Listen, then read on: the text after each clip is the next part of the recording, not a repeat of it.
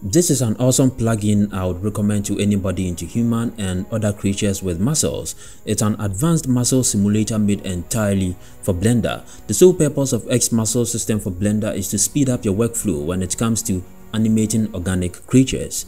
Also, it helps visualize better skin surface deformation according to volume preservation of body muscles, fat and even skeletal bones. This add-on also gives you space for you to focus on the design creativity and to significantly speed up the workflow with um, external learning curve.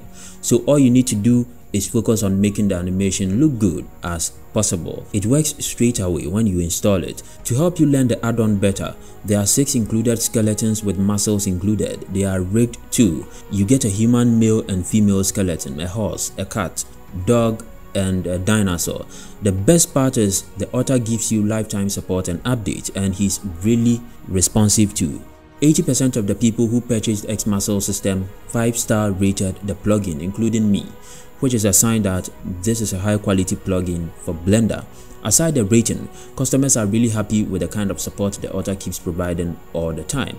I've provided a link in my description below to one of the best and easy to understand tutorial page for anyone going in for this plugin. You can check out the add-on page, read the reviews and more at Blender Market. Faceit is a Blender add-on that assists you in creating complex facial expression for arbitrary 3D characters.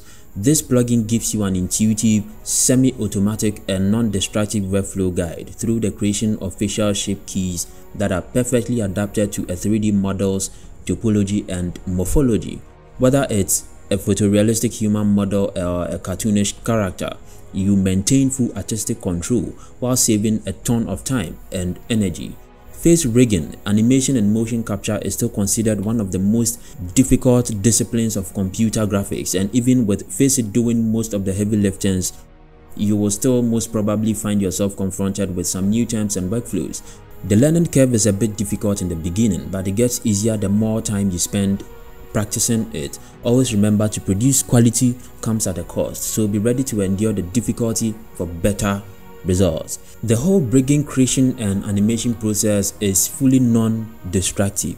You can always go back and tweak any step in the pipeline without ever risking to lose anything. I've left a link in the description below to its documentation page and its download page. If you've loved the video so far, a sub to my channel will be appreciated.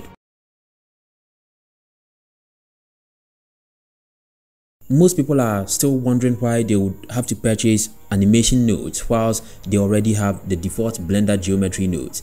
At this moment, I would say both are heading towards the same direction, one for managing geometries in place of using modifiers and the other one is for animating anything you can think of. However, if you've been following the development discussion, I'm pretty sure both should be joined in the near future as node for everything replacing current modifiers, constraints, etc. In simple terms, Geometry Nodes was made basic to help beginners understand geometry management and modifying, whilst Animation Node is its advanced version. Animation nodes are node-based visual scripting system designed for motion graphics in Blender. By using animation nodes, you can create complex animations without having to use any coding. Animation nodes are easy to use and allow you to create stunning animations with ease. Link to the download page in my description below. If you love this video then a sub to my channel will be